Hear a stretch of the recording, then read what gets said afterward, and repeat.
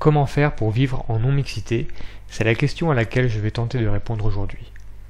Bonjour à toutes et à tous, ici Grégory Book et bienvenue dans une vidéo d'analyse qui va se concentrer sur les stratégies de localisation qui vont vous permettre de vivre en non-mixité. Alors cette vidéo s'adresse à ceux qui sont déjà convaincus et qui ont la volonté de ne plus vivre ensemble.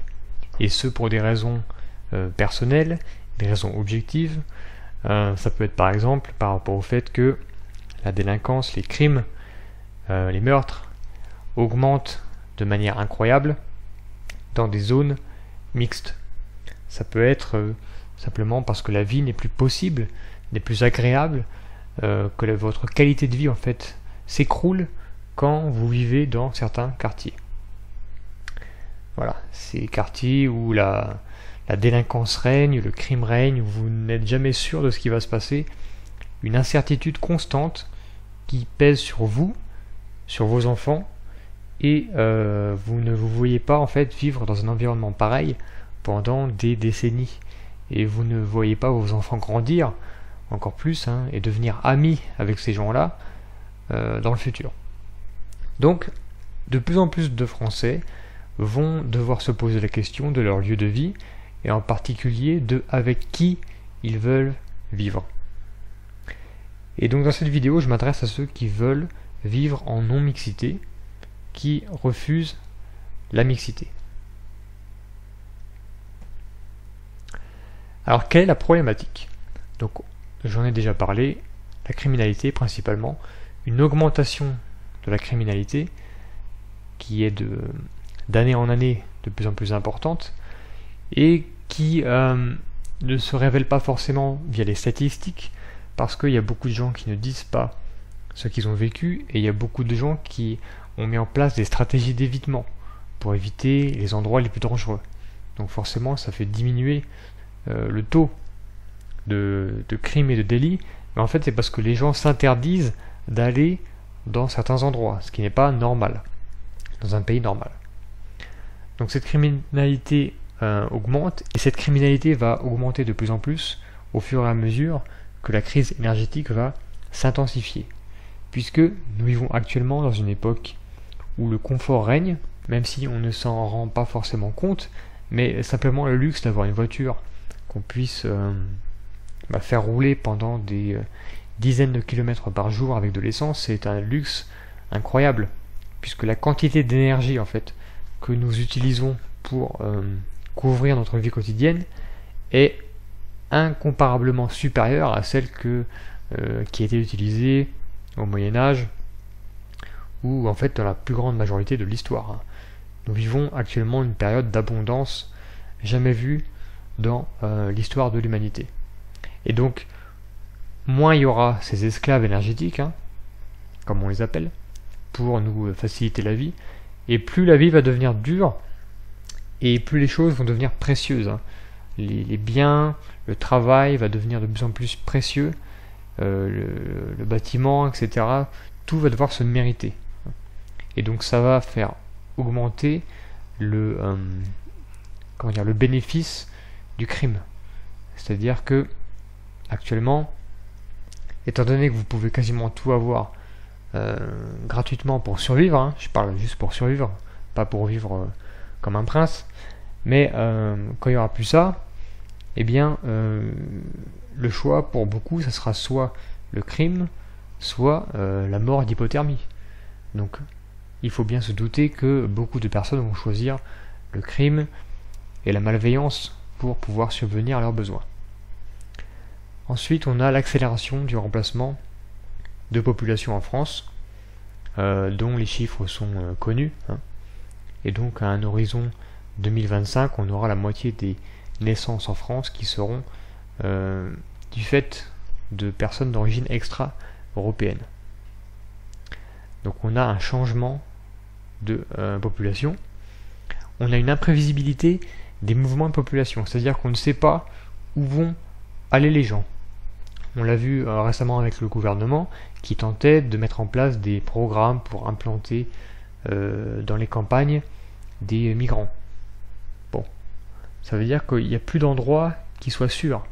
Même dans les campagnes, et les villes j'en parle pas, il y a un, effet aspirateur comme ça qui, qui attire les gens sans qu'il y ait de limite en fait, on voit pas la limite et il n'y a plus aucun lieu qui est, euh, qui est préservé, qui est sécurisé, puisqu'en fait il n'y a pas de notion de dire que cette terre-là, par exemple, ou cette région-là, ou cette ville-là, est réservée aux euh, autochtones. Hein.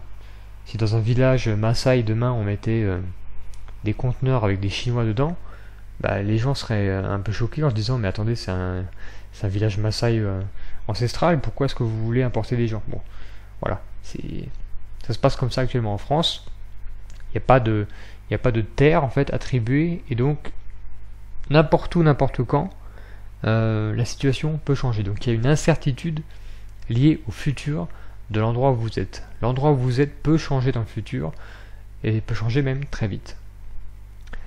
Ensuite, on va avoir une mobilité qui va être réduite avec le coût des énergies, euh, le coût des déplacements et toutes les restrictions de déplacement. Donc ça on l'a vu aussi avec le coronavirus, on va le voir avec le, les, passes énergétiques, etc. C'est-à-dire qu'en fait cette société d'hypermobilité, vous pouvez travailler à 50 km de votre lieu de résidence, ça va être de plus en plus compliqué puisque l'énergie, le coût de l'énergie va augmenter. Et donc l'endroit où vous êtes, votre localisation précise va être d'une extrême importance pour votre qualité de vie il va falloir bien choisir parce que vous pourrez plus simplement euh, passer votre vie dans votre voiture à faire, le taxi. Euh, voilà, entre l'école, le travail, euh, aller faire les courses. Et en fait, vous voyez pas ce qu'il y a entre. Non, quand vous n'êtes plus mobile, quand vous devez tout faire en bus, vous voyez toutes les étapes qu'il y a entre vos lieux d'intérêt. Et donc ça compte. Et il faut passer du temps pour analyser cela.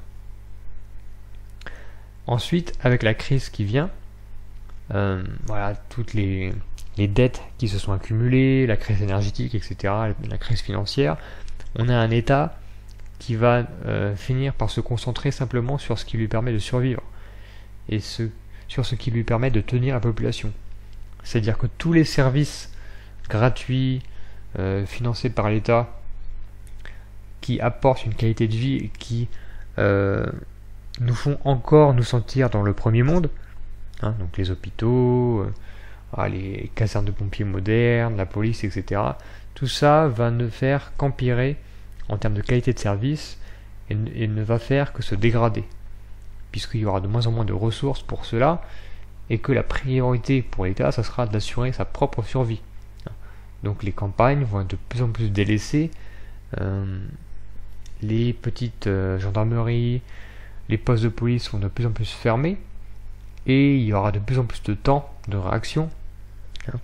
Il y a des pays, euh, en fait, quand vous appelez la police, il n'y a personne qui vient. Parce qu'en fait, il y a, il il a pas les moyens financiers, il n'y a pas les moyens matériels et humains pour assurer un service.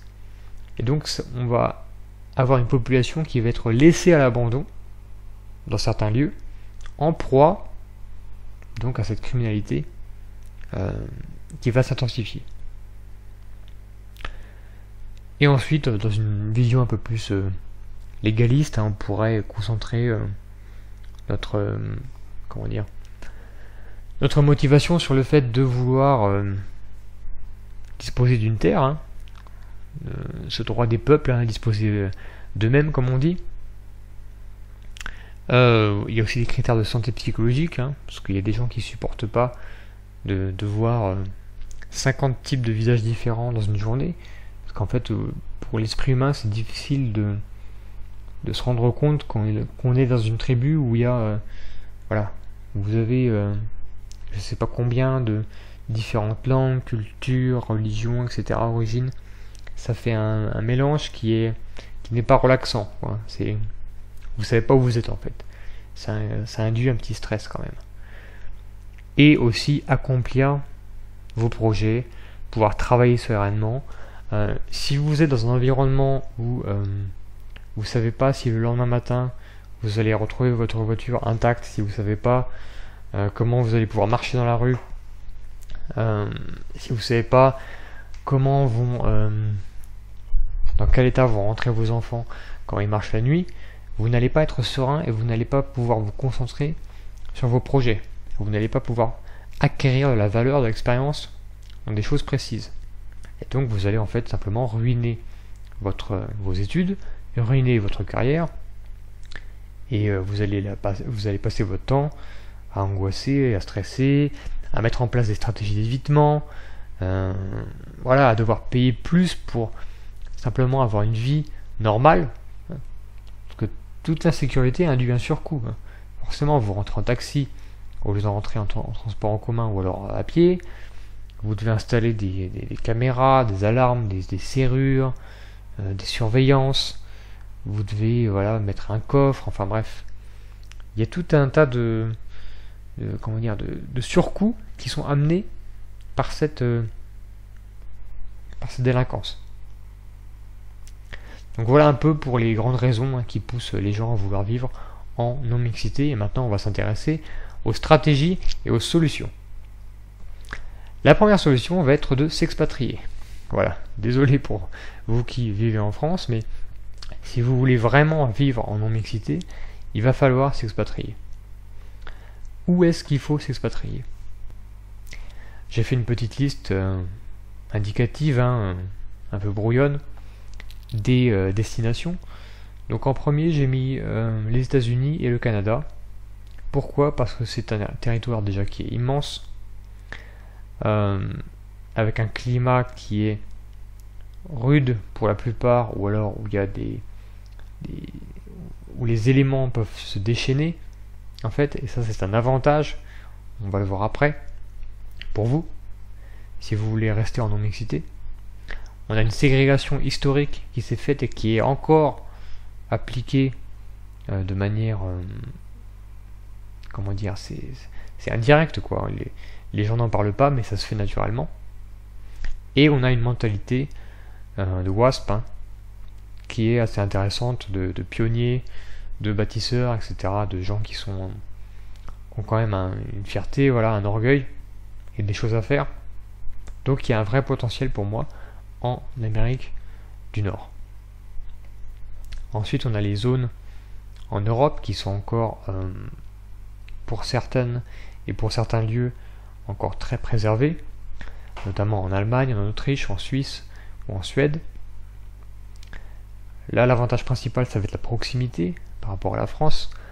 Encore une fois, le climat qui va être assez froid, donc ça c'est un bon point et un potentiel de prise de conscience, puisque bon, même si actuellement on a une société qui est euh, obsédée par le vivre ensemble, ce sont des choses qui peuvent changer euh, avec les époques, suite à des traumatismes. Voilà, on a des peuples qui réalisent que les choix qu'ils ont faits étaient euh, les mauvais. Sauf qu'il y a des peuples chez qui la réalisation va prendre tellement de temps que ça va être trop tard en fait. Mais d'autres peuples sont plus sensibles et ont un seuil de tolérance en fait qui est beaucoup moins élevé que d'autres. Et donc c'est peut-être euh, vers ces peuples-là qu'il faut se tourner, puisque leur, euh, même si actuellement ils sont dans une mauvaise passe, avec le temps, il y aura peut-être un réveil, et en tout cas euh, la population aura beaucoup moins de tolérance que d'autres, et va essayer de sécuriser en fait simplement son lieu de vie quoi. Ensuite, on a l'Australie, la Nouvelle-Zélande. Bon, là, on commence à être dans les destinations qui sont beaucoup moins intéressantes. Voilà, le problème, c'est que c'est une zone quand même qui est soit tropicale, soit désertique. Donc, c'est pas bon du tout. Pour vous, euh, on le verra après, encore une fois. Et on a un isolement géopolitique hein, qui est quand même assez euh, voilà, problématique, assez pénible à supporter. D'être loin de tout comme ça, euh, d'être sur des îles composé d'un seul pays, c'est quand même, voilà, c'est, un peu isolé, quoi. Hein. Pour partir, c'est compliqué. Et ensuite, voilà, là on a les mauvais plans, toute l'Amérique centrale et du Sud, où il y a un climat qui est beaucoup trop tropical, qui est beaucoup trop euh, facile, en fait. On a la Russie, alors avec un climat très intéressant, mais il y a un passé soviétique qui est, euh, qui est présent et c'est un très gros risque en tant qu'Européen, surtout actuellement, évidemment, euh, d'aller là-haut puisque vous allez toujours être vu comme étranger et dans des périodes de guerre, dans des périodes de tension, vous allez très vite être assimilé à des, à des espions, à des agents étrangers, voilà, des gens qui sont qui sont pas fiables et donc bah pour vous empêcher de, de, potentiellement nuire, eh bien on va vous mettre au goulag et vous ne, vous ne saurez pas quand est-ce que vous pourrez en sortir. Donc c'est un pari assez, assez c'est très risqué quand même, euh, la Russie ou même les pays de l'ex-URSS. Hein. Et c'est un empire qui est naturellement multiethnique. Donc si vous quittez, un empire multiethnique pour en rejoindre un autre, c'est pas forcément l'avantage.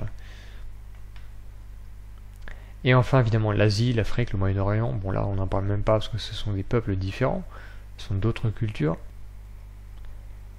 Alors, pour résumer, selon moi, la meilleure zone pour un Européen euh, où habiter se situe entre le cercle polaire nord et le tropique du Cancer.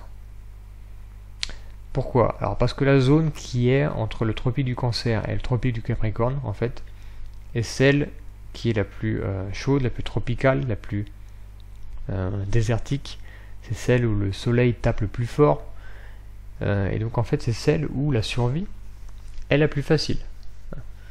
Alors, pas la survie sur tous les points, mais en tout cas la survie par rapport au climat, par rapport à l'habitation dans laquelle vous habitez, c'est le c'est l'endroit le plus facile en fait. C'est-à-dire que dans cette zone-là, quelques exceptions mises à part, mais en gros, avec euh, des, bouts de tôle, des bâches en plastique et puis euh, voilà, des, des seaux, etc., ben, en fait, vous arrivez à survivre puisque le climat ne vous force pas à construire des grandes maisons avec chauffage, avec isolation, euh, qui vous permettent de passer un hiver assez long. Donc en fait, c'est cette facilité de logement crée en fait une, sélection d'un certain type de personnes. Et euh, c'est ce certain type de personnes que, euh, que vous ne voulez pas en fait euh, croiser souvent. Donc en fait cette zone-là, malheureusement entre les tropiques là, au milieu, n'est pas un avenir pour les Européens, puisque sans cesse en fait ils seront confrontés à un débordement démographique qu'ils ne pourront jamais contrôler, puisque la survie en fait est trop simple. Et donc forcément, bah, ça, voilà, ça, ça fait fructifier certains fruits que vous voulez pas euh, manger. Et les zones les plus intéressantes sont en dehors des tropiques. Donc vous avez le sud du tropique du Capricorne qui peut être intéressant, mais là, le problème c'est que c'est que des bouts de continents. En fait, c'est pas, il n'y a pas une vraie, euh, comment dire, il n'y a pas un vrai intérêt géopolitique. Et par contre, ce qui est au nord du tropique du Cancer, alors là, ça commence à devenir intéressant pour vivre. Euh, donc vous voyez sur la carte la zone que ça comprend. Et l'Europe évidemment est compris dedans, avec une grande partie de l'Asie et l'Amérique du Nord. Voilà. Et ensuite, au-delà du cercle polaire arctique, là où vous avez les, au moins une nuit dans l'année qui est complète, où le soleil ne se lève pas, Là, par contre, ça devient euh, assez extrême au niveau froid. Donc, même si le, froid est, est, à rechercher, est un, avantage, euh, voilà, c'est pas non plus super sympa de vivre toute l'année au nord du, cercle polaire. Donc, bon, c'est pas, non, pas non plus à conseiller vraiment.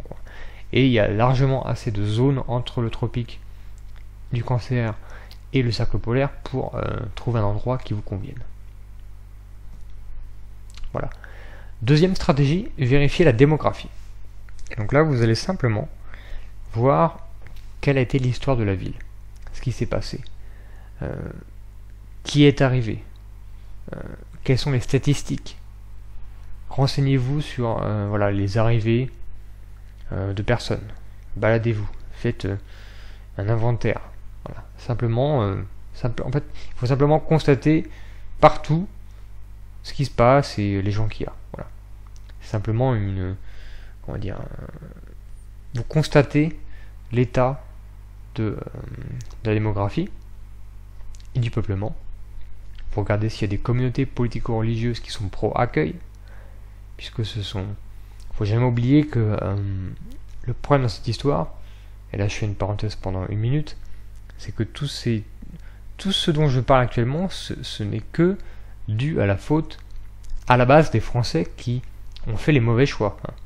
C'est parce qu'ils avaient le mauvais logiciel mental, qu'ils ont accepté certaines choses, qui en ont refusé d'autres, qu'on a cette situation.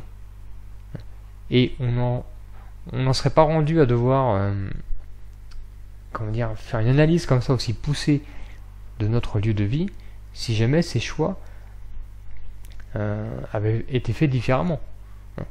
Donc il faut jamais oublier qu'à la base, c'est la population qui elle-même est responsable de, de, de, la propre misère dans laquelle elle va se euh, projeter. Il ne faut pas rejeter la faute sur, sur quelqu'un d'extérieur, sur un, sur l'étranger, sur un bouc émissaire, il faut vraiment se réaliser que tout est de la faute des autochtones. Donc euh, ces gens-là, si vous voulez, euh, tant que tout n'est pas détruit, bah, ils, vont continuer en fait à, appliquer leur logiciel de pensée. Hein. parce que c'est comme ça qu'ils raisonnent. Donc on le verra même plus tard. Euh, c'est pour ça que vous avez des villages en fait où c'est la population qui veut qu'il y ait un changement de population. C'est même pas les, étrangers qui viennent, qui veulent s'installer. Absolument, c'est les gens qui sont déjà là, qui veulent faire venir les autres. Donc c'est quand on me parle d'invasion, moi je rigole parce que c'est pas une invasion, c'est les gens qui invitent. C'est une invitation, ce qui se passe. C'est pas une invasion. Bref. Donc vérifier la démographie et euh, aussi on voit que en général dans l'histoire les gens restent à l'endroit où ils sont nés, où ils ont leur cercle familial, voilà, leurs amis. Et une fois que les gens sont en couple et ont des enfants, c'est beaucoup plus difficile de les faire bouger. Donc euh, voilà, c'est pour ça que c'est un, un, bon indice, hein, puisque quand une zone a une certaine caractéristique, elle ne va pas beaucoup changer. Hein. Donc il y, a une, une inertie quand même dans la population. Ça se voit notamment par rapport aux, lignées, hein, aux, euh, généalogique, si vous regardez d'où viennent vos ancêtres, vous verrez qu'il y a souvent des, des comment dire des, des, villages comme ça ou des, petites, villes où se concentre toute une branche de, de la famille parce qu'en fait les gens ne bougent pas. Ils restent là où ils sont. Et là je vous mets un exemple. En Afrique du Sud on a un village on a deux villes en fait pardon dont une s'appelle Segunda qui est au nord-est, ici sur la, sur la carte, qui sont deux villes et qui ont une caractéristique assez euh, intéressante, c'est qu'en fait vous avez une ville qui est réservée aux blancs et une ville qui est réservée aux noirs. Voilà. Alors réservé, c'est pas légal, c'est pas euh, écrit sur un papier, c'est simplement qu'en fait les gens naturellement se mettent dans une ville ou dans l'autre. Voilà. C'est euh, une ségrégation en fait. Hein. Alors certes, vous allez me dire, il y a un passé par rapport à l'Afrique du Sud, où il y a une méchante ségrégation qui s'est mise en place, mais en fait c'est les gens eux-mêmes qui veulent ça, qui se regroupent comme ça. Et vous avez ça aussi, euh, ces cartes, vous avez ça au, Brésil, aux États-Unis, euh, et même en France, s'il y avait ce genre de cartes qui était possible, euh, eh bien on constaterait une ségrégation. Donc en fait, voilà, une, fois que les gens ont leur, leur, quartier, en fait, ils bougent pas trop et ils restent comme ça. Et si vous, on vous dit, bah tiens, vous allez travailler dans une ville qui est à côté, vous choisissez une des deux, si vous faites pas attention au type de population qu'il y a, bah vous allez peut-être vous retrouver dans la mauvaise ville. Et donc les gens vont rigoler quand ils vont vous voir, ils vont vous demander, mais qu'est-ce que vous faites là, quoi? C'est pas, ici votre endroit. Pour un Français, ça peut être choquant évidemment. Hein il y a plein d'endroits sur Terre où en fait c'est comme ça. Voilà. Troisième stratégie, utiliser la barrière économique de la voiture. Alors, ça c'est peut-être un conseil le plus efficace qui va être euh, donné pour les Français, c'est-à-dire que oui, le fait d'être riche va vous permettre de vivre plus facilement en non-mixité, mais pas n'importe comment. Et une des manières qui va être la plus efficace, ça va être l'éloignement et notamment l'isolement euh, des transports en commun. Donc de manière extrêmement simple à comprendre, euh, le pouvoir d'achat le plus élevé bah, va être concentré en gros chez les, Européens. Et donc, euh, ce pouvoir d'achat va vous permettre d'acheter une voiture. Et ce véhicule, qui est un gouffre financier, on est, d'accord, ne va pas être possible, euh, ne va pas pouvoir être, ne va pas pouvoir être acquis par tout le monde, en fait, parce que c'est beaucoup trop cher. donc il y a plein de gens qui vont préférer vivre euh, proche de leur travail parce qu'ils ne pourront pas se payer de voiture. Il y a d'autres personnes qui vont vouloir vivre loin de leur travail et y aller en voiture. Et en fait, toutes les zones, toutes les, banlieues pavillonnaires, tous les, petits villages qui sont coupés du monde en termes de transport en commun et où on peut accéder qu'en voiture, eh bien, dans ces endroits-là, ne vont vivre que les gens qui peuvent se payer une voiture. Donc déjà, vous avez un tri qui est fait euh, qui est incroyable, quoi. Euh, je pense que c'est comme ça que ça va se passer. C'est comme ça que ça va évoluer, c'est-à-dire qu'il y a les gens qui pourront se payer le luxe d'avoir un véhicule, et forcément ils vivront dans des zones qui sont les moins touchées par la, la criminalité, qui sont les zones où on ne peut se rendre facilement que avec un véhicule, parce que ça concentre les gens qui ont plus de pouvoir d'achat. Donc si je prends l'exemple de Nantes, qui est une agglomération qui, euh, qui fait rêver euh, ceux qui souhaitent partir de Paris. Eh bien, alors bon là on voit, c'est la carte avec les zones, euh, les zones urbaines sensibles, hein, renommées quartiers prioritaires, donc qui sont situées, on va dire en périphérie, en banlieue de Nantes. Hein, donc là je vous apprends rien. Et si vous habitez évidemment en voie, pardon, si vous habitez ici entre les deux, si vous habitez dans le centre-ville, si vous habitez même de l'autre côté, eh bien euh, votre logement est euh, on peut l'atteindre avec les transports en commun très facilement. Et encore pire si vous êtes situé entre les euh, zones urbaines sensibles. Donc là, si vous êtes entre les deux, vous allez être sur le passage en fait des gens. Et donc c'est là où vous allez être repéré et où vous allez être la cible potentielle. Donc une solution, c'est simplement de d'être assez loin pour devoir prendre une voiture. Donc là, tous les petits villages qui sont aux alentours. Alors je connais pas forcément la région, hein, donc je sais pas euh, quel type de liaison il y a, mais j'imagine que s'il y a un bus, voilà, qui passe à Saint-Julien de Concel ou au Loroux, Potro, eh bien ça va être des, voilà, des bus qui vont aller quelquefois à Nantes dans la journée, mais ça va pas être très pratique, hein, donc ça va pas intéresser beaucoup de monde ou si vous êtes ici à Divat-sur-Loire, à Saint-Simon, à la Verdonnière, voilà, je dis n'importe quoi, eh bien en fait vous avez besoin d'une voiture pour simplement aller au travail et emmener les enfants à l'école. S'il n'y a pas de ramassage scolaire. Donc cette barrière-là, économique, elle est infranchissable pour ceux qui n'ont pas les moyens. Donc ça peut être un bon plan en fait, la, dépendance à la voiture et euh, l'utilisation de la voiture comme barrière économique pour se protéger de la criminalité est une solution. Même si évidemment ça induit un surcoût pour vous. Mais de toute façon, si on recherche la tranquillité, la sécurité, euh, l'apaisement, ça va forcément arriver par soit un surcoût, soit par un par un changement de vie. Ça va dans tous les cas demander un effort. Vous n'allez pas arriver en France actuellement à à la fois vivre tranquillement et à la fois avoir des opportunités professionnelles euh, par centaines. C'est deux choses qui sont incompatibles, malheureusement, euh, actuellement en France. Voilà donc pour cette parenthèse sur Nantes et sur l'utilisation de la voiture comme barrière économique. Quatrième stratégie, assez simple, éviter tous les bassins d'emploi qui regroupent des travailleurs qui sont peu ou non qualifiés. Donc tout simplement, quand vous avez des grandes usines qui fabriquent des euh, produits simples euh, en série, ou en tout cas qui demandent beaucoup de main-d'œuvre euh, peu qualifiée, hein, parce que les tâches à faire sont simples, quand vous avez aussi des fermes agricoles qui sont extrêmement demandeuses en main-d'œuvre, comme l'arboriculture, comme la viticulture, comme le ramassage de, fruits, ou bref, n'importe quelle activité agricole, ou euh, industrie qui en fait demande beaucoup de main d'œuvre peu qualifiée, c'est évidemment un problème dans l'optique de la vie en non-mixité puisque ça va attirer euh, bah, les gens qui peuvent faire ce type de travail, qui vont accepter d'être payés aussi peu pour accomplir des tâches aussi, euh, comment dire, pas sympa quoi, hein, qui sont pas, c'est pas, c'est pas fun, ce type de job.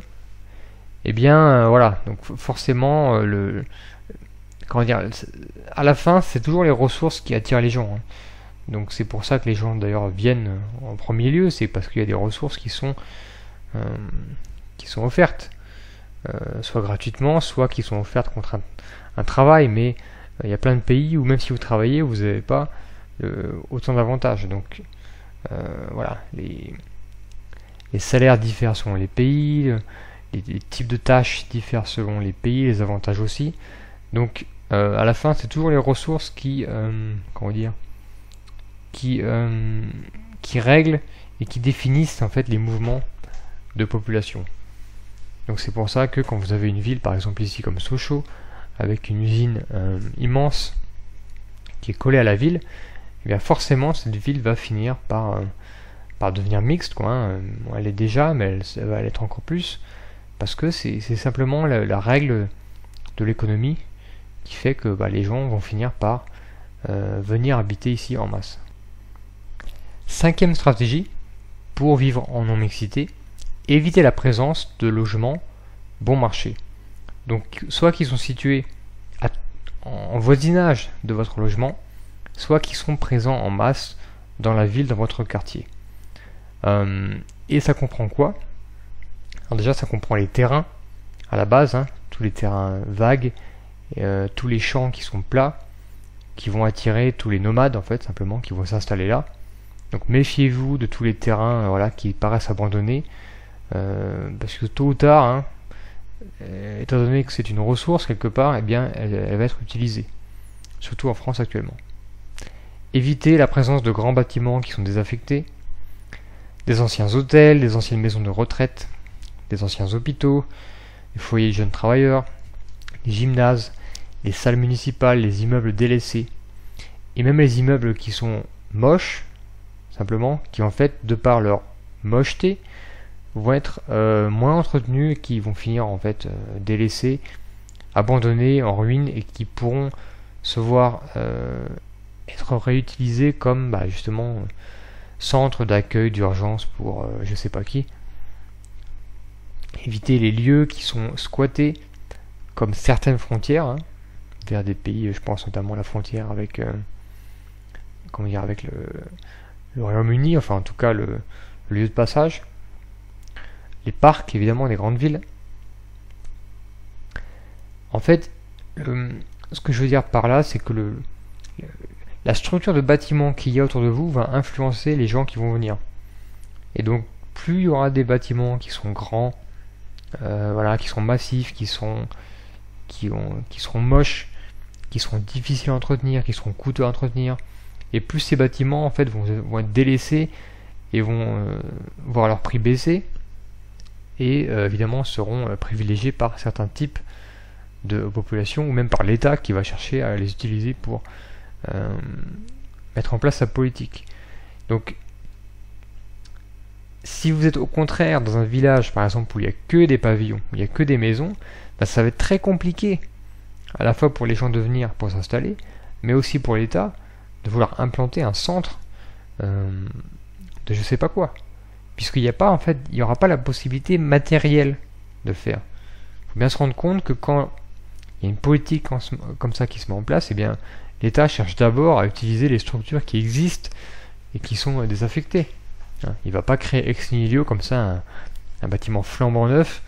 Je veux dire, économiquement, c'est tellement intenable que s'il commençait à faire ça, bah, ça serait la ruine de la, la politique, hein, quoi. Et du coup, la politique s'arrêterait. Donc, au départ, c'est toujours comme ça. Dès que vous avez un bâtiment qui, qui est un peu abandonné, eh bien, il peut servir de, euh, de foyer, etc. Et donc, le, analysez simplement quel type de bâtiment il y a autour de chez vous et quelles possibilités il y aurait d'héberger comme ça en masse des gens. Hein. Ne vous posez pas la question de savoir si les gens voudraient le faire, mais dites-vous, est-ce qu'il le pourrait Simplement avec le, bâti qu'il y a autour de euh, chez vous. Voilà. Et euh, méfiez-vous évidemment des grands organismes qui sont chargés de gérer toute cette ventilation démographique, hein, comme Adoma et comme Koalia. Donc si vous voulez vérifier, vous tapez sur internet Adoma plus le nom d'une ville, Koalia le nom d'une ville. J'espère que j'ai bien écrit Koalia. Et vous verrez si jamais il y a des, centres comme ça cachés ou en projet euh, qui se montent autour de chez vous. Et là j'ai mis un, extrait d'un article, hein, vous pouvez faire pause pour lire. Simplement en fait une, vers Toulouse, c'est un village où il y a l'État qui projette de mettre des, euh, des migrants, hein, de créer un centre, comment ils appellent ça? Un centre de préparation au retour. Voilà. Toute la novlangue euh, qui est utilisée en masse actuellement. Euh, et où en fait le projet c'est quoi? C'est de réutiliser une ancienne maison de retraite hein, qui, est, euh, qui, est, plus utilisée. Voilà. et typiquement vous avez le maire qui vous raconte que qu'il n'est pas opposé à l'accueil des migrants, qu'il a déjà des réfugiés ukrainiens, par exemple, mais il est contre un projet disproportionné pour un territoire rural non équipé. Le maire socialiste de Saint-Lys estime ne pas avoir de garanties suffisantes concernant leur accueil dans de bonnes conditions. Voilà. Et euh, si l'opposition municipale ne veut pas de centre de préparation au retour prévu pour 126 étrangers, la plupart des habitants de Saint-Lys, eux, y sont favorables. Donc là, vous avez vraiment, c'est ça, c'est typique des histoires de la France d'aujourd'hui. Hein. C'est vraiment à garder pour la postérité, ça, ce type de, de fait, où c'est les gens eux-mêmes qui veulent que ce, type de structure se mette en place.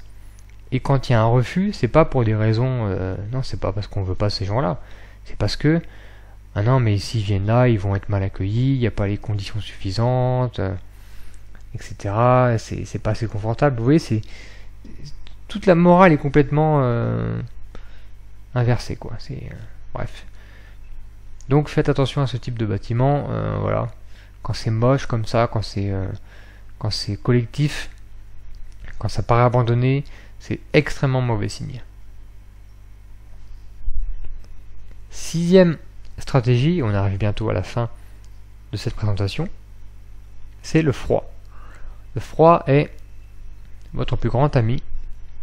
Et je parle pas du froid quand vous mettez un kawaii euh, voilà, en automne parce qu'il pleut. C'est vraiment le froid, euh, c'est le gel en fait. Il faut qu'il y ait de longues périodes de gel, plusieurs jours idéalement, où la température est en moins quelque chose. Ou au moins que dans l'année vous ayez euh, voilà, au moins 100 jours où le matin ça gèle quoi. Il faut que ça, il faut que la glace se forme partout il faut que la nature se meure, que les, les animaux se terrent, que les gens grelottent. Voilà, il faut, faut que le froid vraiment se, se diffuse partout. Et pourquoi est-ce que c'est un avantage pour vous?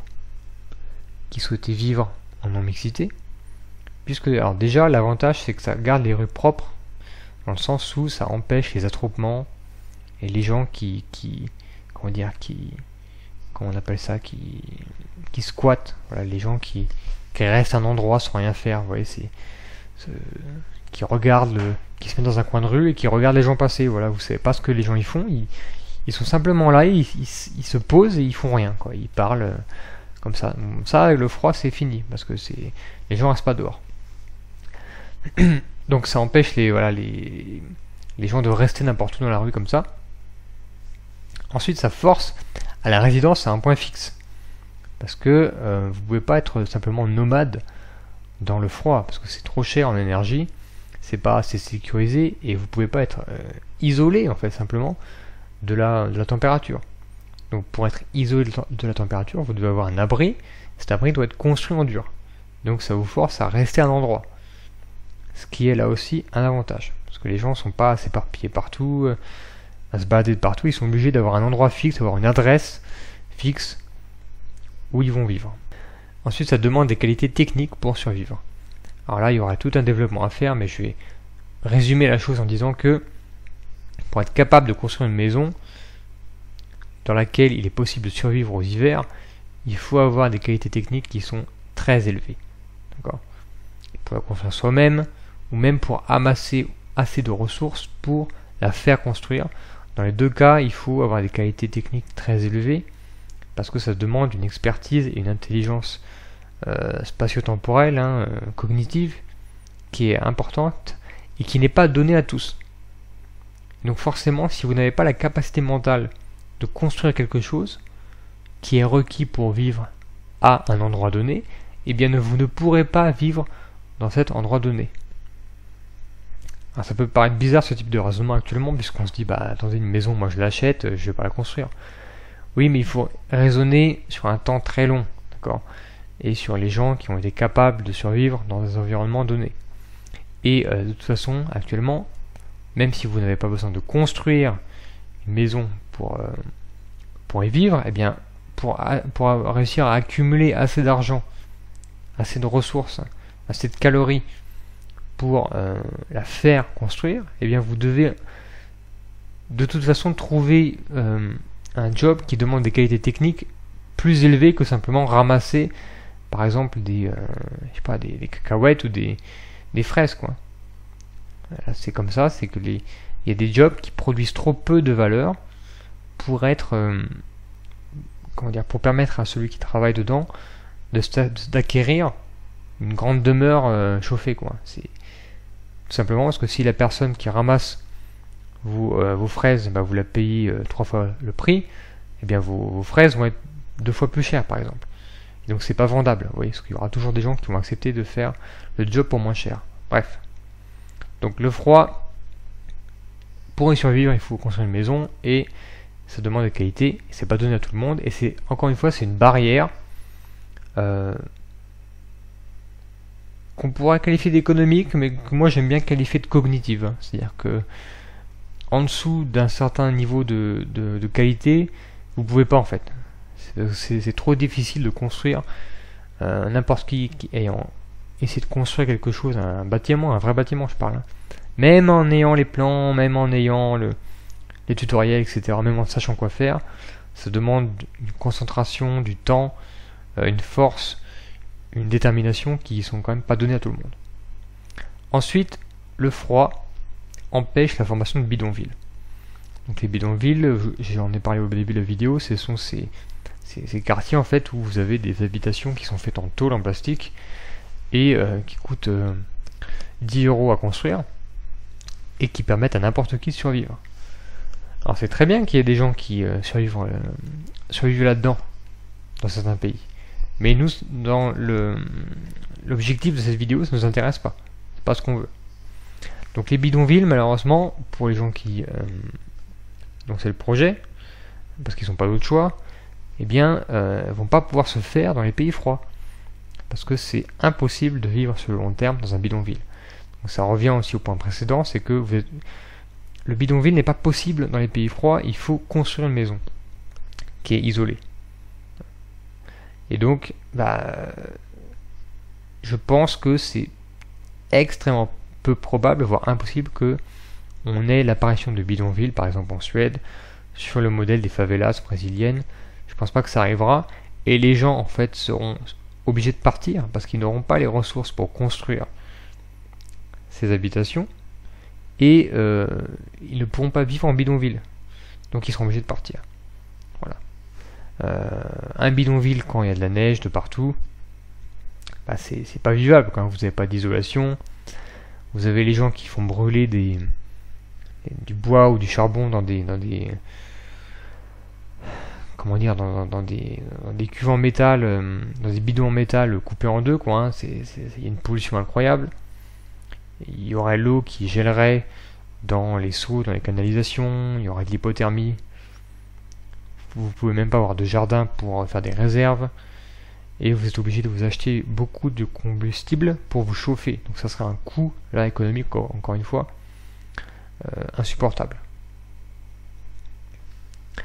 Et donc euh, voilà, par exemple là vous avez un bidonville dans la neige. Imaginez-vous euh, là-dedans combien de temps est-ce que vous tiendrez dans ce type de, de de conditions quoi. C'est, je veux dire, c'est, impossible de survivre là-dedans euh, sur le long terme quoi.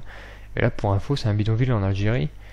donc oui, la neige sûrement est très rare et là, pour une fois, ça a neigé. Hein. Mais bon, la plupart du temps, c'est pas comme ça. Quoi. Et enfin, la dernière stratégie pour vivre en non-mixité, ça va être simplement d'augmenter votre mobilité.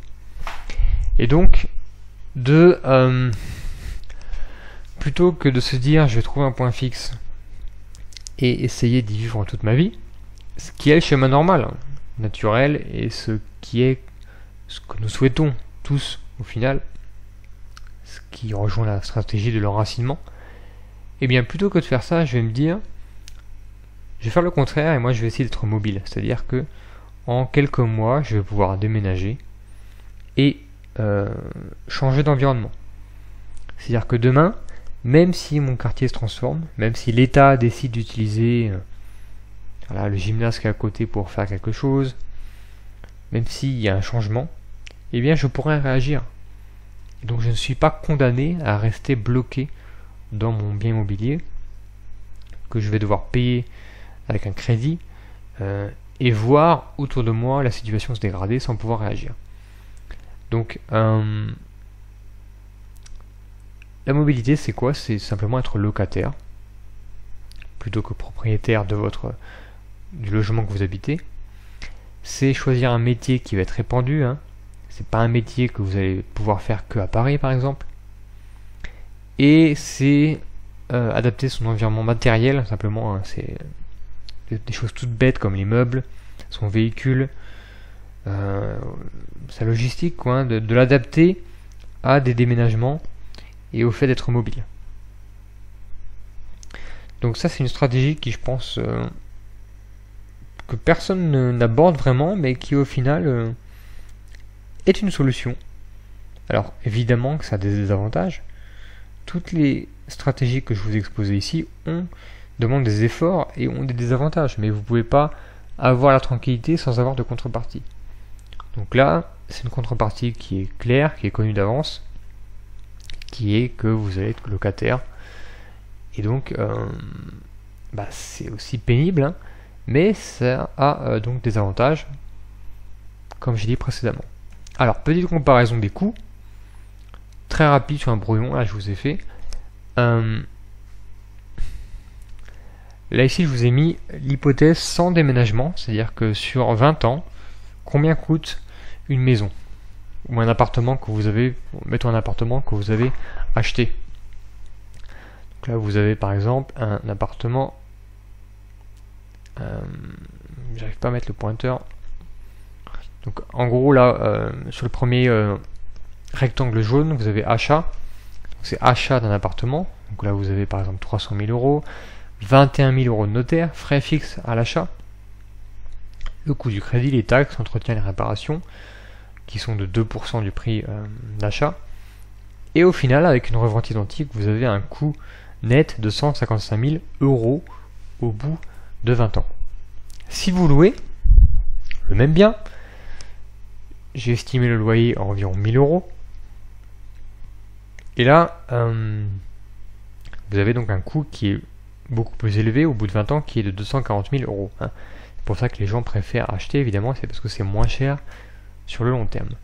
Mais, si jamais vous êtes obligé de déménager au bout de 10 ans, parce que votre environnement a changé, par exemple, et qu'en plus vous avez perdu de la valeur sur votre achat immobilier. Parce que ça, c'est évidemment le point euh, caché un peu de toutes ces vidéos, c'est que bah, si vous achetez quelque chose et que vous y êtes prisonnier et que vous devez partir dans l'urgence, eh bien vous allez payer, euh, vous allez perdre en fait euh, votre, maison, votre appartement va perdre de la valeur. Parce que l'environnement autour de lui, de lui ne va plus être attractif. Donc là, voilà, vous avez perdu au bout de 10 ans 50 000 euros. Et vous devez racheter une maison ou un appartement. Vous devez repayer les frais de notaire fixes. Euh, et donc ça entraîne des, des, coûts supplémentaires en fait qui sont pas souhaitable. Et là, à la fin, au bout de 20 ans, on voit que on a un coût de 234 000 euros qui est quasiment pareil aux 240 000 euros.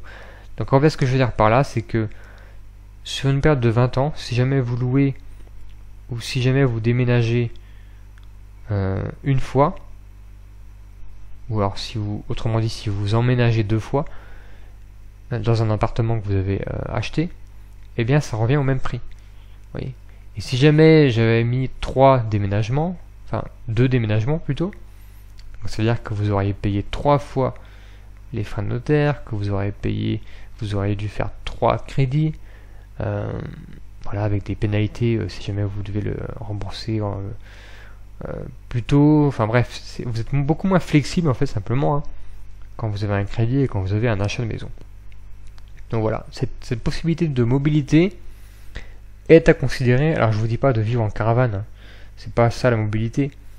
La mobilité c'est vivre comme un sédentaire, mais en pouvant changer son logement grâce euh, aux euh, possibilités de location qui existent. Euh, parce que si jamais votre quartier devient pourri autour de votre location, vous vous en foutez parce que vous pouvez changer de location. Alors c'est pénible certes parce que vous devez tout changer, mais au moins ça vous coûte pas des, des dizaines de milliers d'euros. Euh, passons maintenant à deux faux indices qui existent. Le premier, c'est le prix de l'immobilier élevé. On pourrait penser que plus c'est cher et plus, euh, et mieux c'est, et plus vous êtes en sécurité. Eh bien, ce n'est pas vrai. En fait, puisque euh, si vous comparez par exemple le centre de Paris ou, de Lyon avec la France rurale, eh bien c'est évident que le prix immobilier n'a rien à voir avec la sécurité et la criminalité, ou même des pays étrangers. Donc euh, c'est totalement décorrélé. Euh, et même les endroits où on sait qu'il y a beaucoup de, riches, hein, donc en fait de personnes qui sont intéressantes à cambrioler, peuvent être plus susceptibles d'être cambriolés. Donc ça peut même devenir un désavantage. Et euh, l'exception que j'ai mis, c'est évidemment les euh, résidences sécurisées, les grandes, les gated community. Mais ça, évidemment, ça demande euh, malheureusement un surcoût énorme hein, au niveau des charges pour entretenir tout ça. Ensuite, le deuxième faux indice, c'est les communes faiblement peuplées. Donc on pourrait croire que s'installer à la campagne, dans un village, c'est une garantie de sécurité, mais en fait, il n'en est rien. Et non, parce que déjà, on l'a vu avec ce gouvernement qui veut ventiler euh, eh bien, euh, partout des, gens qu'il a choisis. Hein. Donc là, tout peut arriver. Et en fait, simplement parce que ça n'a rien à voir avec euh, le type de, population. C'est-à-dire que le nombre de personnes dans une ville n'a rien à voir avec la criminalité. Alors je sais qu'en France ça peut paraître bizarre, mais c'est parce qu'en France, il y a un autre facteur qui est en place dans l'équation et qui fausse euh, l'analyse. Hein. parce qu'il y a plein de grandes villes, notamment dans des pays de l'Est, qui sont sûres. Et il y a plein de campagnes, par exemple en Afrique du Sud, qui sont extrêmement dangereuses. Donc en fait, la campagne en soi n'est pas plus sécurisée que la ville. Ça n'a rien à voir. Tout à voir, encore une fois, avec les gens qui y vivent. Hein. Et euh, la campagne, donc notamment, euh, il y a un risque qui est lié à l'isolement, où vous êtes tout seul, ou alors vous devez laisser votre famille tout seul et vous savez pas vraiment ce qui peut arriver. Et en France notamment, il y a beaucoup de, voilà, de, nomades, de travailleurs saisonniers qui se baladent partout, qui s'installent, euh, qui font des choses, etc. Et donc vous pouvez pas contrôler ce qui se passe.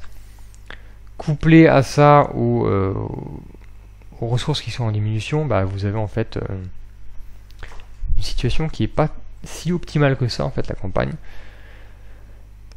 qui reste une possibilité, mais dont les désavantages sont quand même à euh, considérer. Voilà, j'en ai fini pour cette présentation.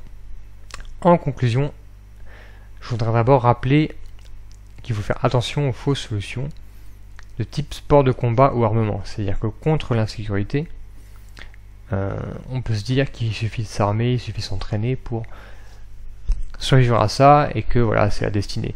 Mais en fait, c'est euh, c'est un mauvais choix au vu de la situation actuelle. Alors, c'est bien de savoir se battre, d'avoir euh, d'être armé, de savoir se défendre, c'est évidemment bien.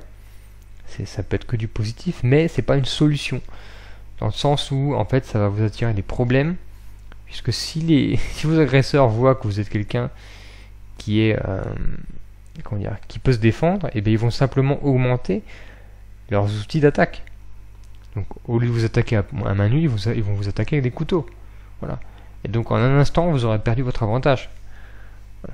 C'est simplement c'est la proportionnalité des, moyens d'attaque.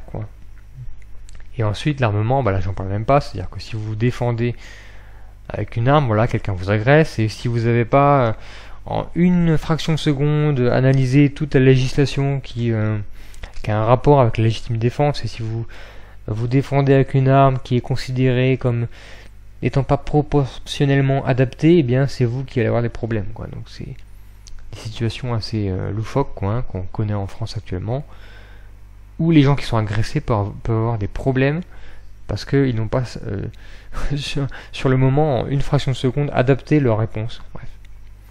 Vous voyez de quoi je parle de toute façon. Donc plutôt que ça, utilisez la géographie, c'est ça le message de cette chaîne, c'est que il faut utiliser la localisation et la géographie comme outil, comme levier pour euh, augmenter votre qualité de vie et euh, éviter les problèmes simplement. Au lieu de se confronter aux problèmes et de perdre du temps, de l'argent, de l'énergie, de prendre des risques, eh bien, écarter le problème de l'équation. C'est plus simple. Voilà. Essayez d'offrir une enfance qui soit insouciante à vos enfants, euh, de ne pas les élever dans un environnement qui soit comme ça, euh, incertain, criminels où ils pourront fréquenter les mauvaises personnes aussi hein, et devenir amis avec les mauvaises personnes. Pensez à eux, hein, simplement. Et donc évitez d'être dans l'idéologie, dans le, dans le, dans le vivre ensemblisme. Hein. Voyez la réalité telle qu'elle est et si jamais il y a un facteur qui fait en sorte qu'il y a plus de criminalité dans un endroit, eh bien c'est ce facteur qui est à considérer. Point barre. Il n'y a pas à chercher euh, à faire des torsions mentales pour justifier des choses Soyez pragmatique. D'accord Si la réalité est comme ça, c'est que c'est comme ça. Point. Faites l'effort d'analyser l'environnement, cela peut vous éviter bien des malheurs. Si vous ne croisez pas de criminels, alors vous ne subirez pas de crime. Tout simplement.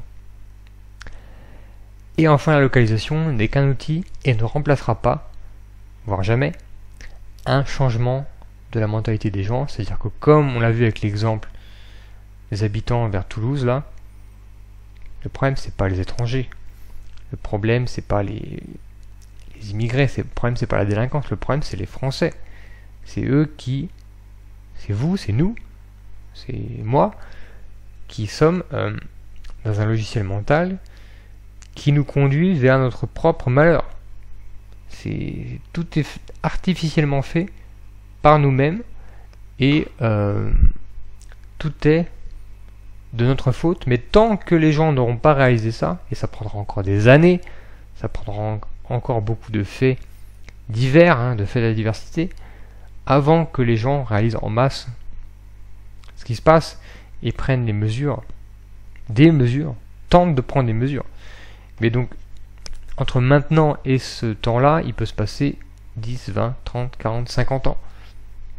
Donc, d'ici là, et en fait considérez que ce temps-là n'arrivera jamais, eh bien, trouvez-vous euh, même les solutions qui vont vous permettre d'augmenter votre qualité de vie et mettez en place les stratégies qui vont vous permettre euh, d'avoir euh, et d'offrir une vie qui soit la meilleure possible à vos enfants. Voilà. Merci de m'avoir écouté. C'était Grégory Book et à bientôt. Bye.